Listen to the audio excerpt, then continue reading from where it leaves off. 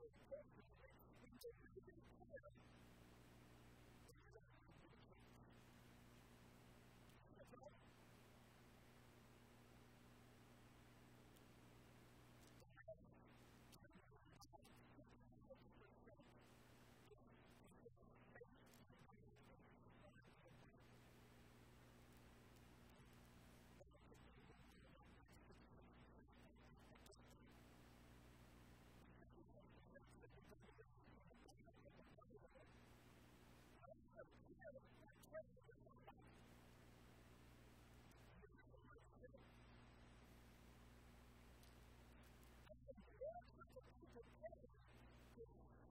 like, oh,